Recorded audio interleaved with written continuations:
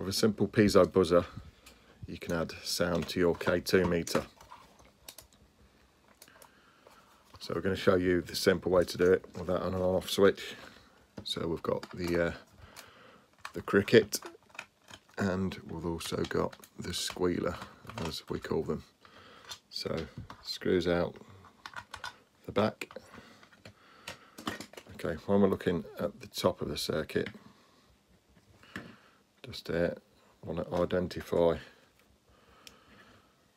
just find out where my uh, camera is, it's just there. Right, so we're looking for the one, two, the third pin across, the one next to this little black dot, and then one, two, three, four, the fifth one down.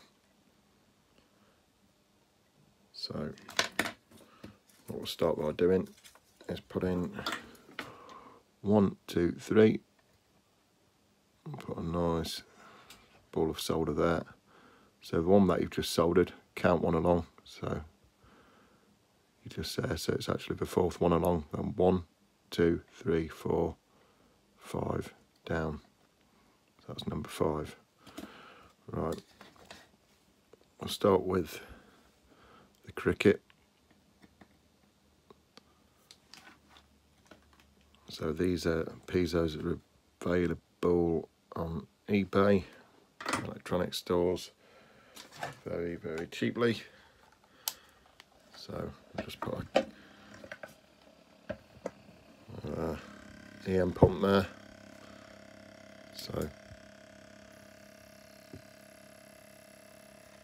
you can hear that, it's like a, a cricket noise. So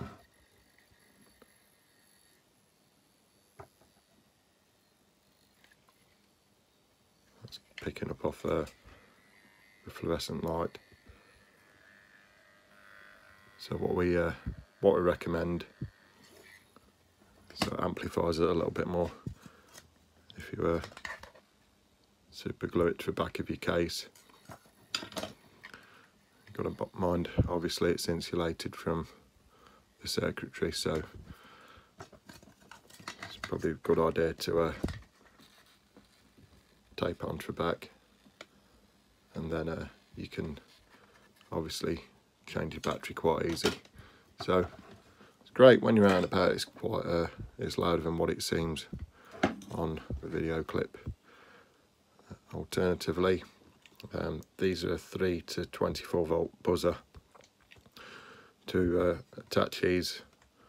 Suggest you do it, do it externally. So you need a small hole in the device obviously uh, be careful not to foul foul with the screw there. So so you need to mount it on the outside. So a small hole just there. And then that can be mounted on the outside. So we'll just solder this in place. Exactly the same again. So I'm saying one two three solder into place. And we'll spin that round so you can see a little bit more. One two three four five. As you can see that's um, a lot louder. That's just picking up on the fluorescent tube.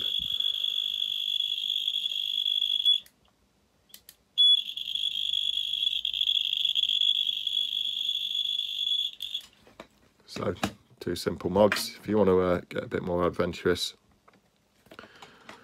what you can actually do is put a little on off switch on the side um, so you just you just cut into um, the cable there and put a switch in line or you'd solder that to one side of a switch and then have the other switch coming out to the relative pin on the circuit. Any questions uh, visit infraready.co.uk you can get in touch by using the contact form. Drop us a comment on the video. And don't forget to subscribe